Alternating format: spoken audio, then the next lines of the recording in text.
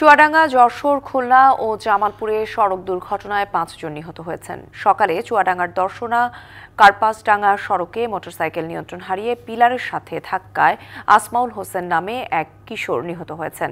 এ সময় আহত হয়েছেন আরও দুইজন।